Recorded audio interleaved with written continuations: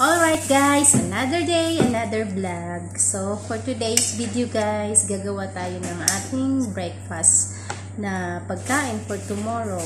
Pero gagawin natin ngayong gabi kasi kailangan gawin sa gabi guys bago natin kakainin bukas ng umaga. So, guys, papakita ko sa inyo ang ating ingredients. Ayan, dire-diretso na to guys, no edit na. Ayan, guys, dapat meron tayong oats. Ayan. Tapos, meron tayong chia seeds. Tapos, meron tayong 3 pieces of uh, strawberry. Meron tayong um, honey. Ayan. At depende sa ating flavor, guys. Ako natikman ko na yung uh, mango flavor. So, gagawin ko ngayon ay strawberry. That's why may strawberry ako dito. Yan guys, ito yung natikman ko dat na nakaraan. Uh, mango flavor. Sobrang sarap niya. So today, uh, gagawin natin yung strawberry flavor. So let's try guys. Let's start. Ah! I forgot. Milk. Kailangan natin ng fresh milk guys. Wait. So ayan guys. May milk na tayo. So let's start. Yung sa milk guys, kahit ano, basta fresh milk. Ayan. Kuha lang tayo. Depende sa dami na gusto nyo. Pero, uh, depende sa gano'ng kadami yung prepare nyo for tomorrow. Pero sa akin, kunti lang. Ayan. Lagyan natin ng ganyan, guys. Ayan. Dagdagan natin. Yan lang muna guys. Tapos dadagdagan na lang natin mamaya kung kulang. Yan. Tapos lagyan natin ng chia seeds. Ayan. Hmm. Konti lang muna guys para makita natin mamaya ang kulang. Kung kulang pa siya ng chia seeds, dagdagan na lang natin. And then, lagyan natin ng honey. Yan, honey. Ba't ang parang itim-itim ko sa camera? Okay. Siguro against the light. Okay. Tapos, lagyan natin ating flavor. Mabilis lang sa uh, mabilis lang to guys. Mabilis lang siyang gawin. Yan, lagyan natin ang ating yogurt flavor na ano. Uh, yogurt siya tapos yung flavor niya is strawberry.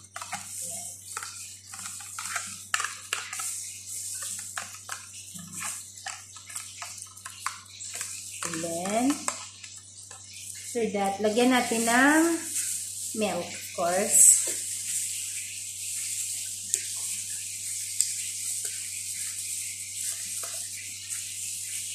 Buksan natin ng milk, guys. Ayan. Uh -huh.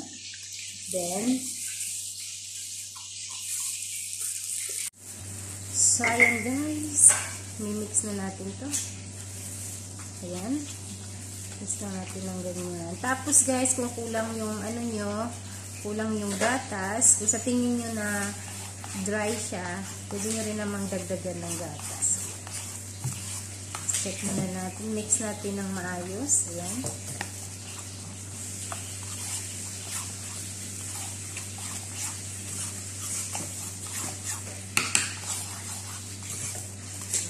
Para sa akin, okay na to. Okay na tong texture niya. Hindi siya malata, hindi din siya uh, dry. Yan. Okay lang siya. Yan. Tapos guys, tikman natin yung ano, tikman natin yung tamis niya. Hmm. Sarap. Sarap siya.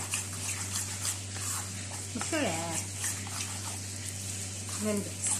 Para to sa mga nagda-diet yan. Ayan. At saka organic siya guys. Kasi yung chia seeds is organic siya. So, masarap. It's good to your health. Ayan. Mix lang, mix lang natin. Pero hindi pa rin natin siya pwedeng kainin ngayon guys. Kasi kailangan mag-expand yung ano, yung chia seeds at saka yung oats natin. So, bukas pa to natin makakain ng morning breakfast natin. Kung gusto niyo ang ganito yung breakfast niyo kinabukasan, gabi pa lang, uh, prepare niyo na siya para bukas, kakainin niyo na lang. Kasi pag uh, bukas na kayo gagawa, tapos kakainin niyo agad, hindi siya, ano, hindi siya masarap kasi uh, matigas pa yung oats, tapos yung seeds, hindi pa siya nag-expand. So, hindi siya masarap. So, guys, okay na to. Ready na to. Lalagyan na lang natin ng uh, strawberry sa ibabaw. Yan. Okay na rin yung tamis niya. Yung honey yung gamitin nyo, guys. Huwag yung ano, huwag yung sugar. Pero depende pa sa inyo kung ayaw nyo ng honey. Kung wala naman kayong sugar, pwede na rin yung honey. So, yeah. Kung, I mean, kung wala kayong honey, pwede yung sugar. Yan set aside muna natin guys. Tapos, uh, wait lang, hugasan ko muna.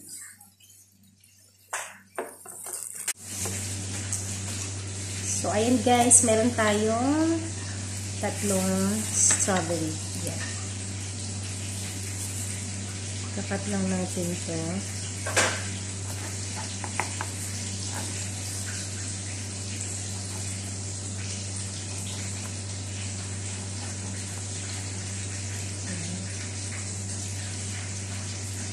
to.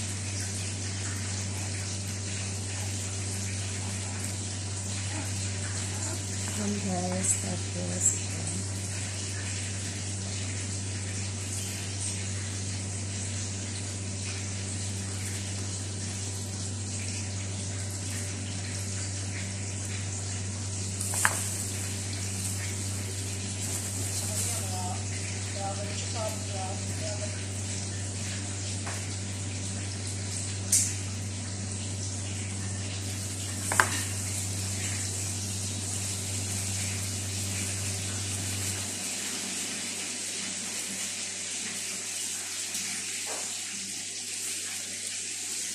Malata na yung strawberry ko. hindi na siya maganda. Okay. Ito na lang ilalagay natin guys. Kasi yung isa hindi lang siya masyadong maganda. Ayan. Lagyan lang natin yung tan. Ayan.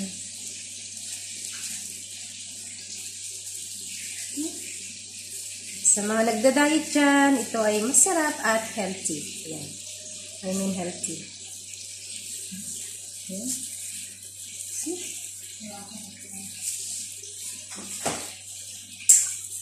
It's yummy guys. Yan.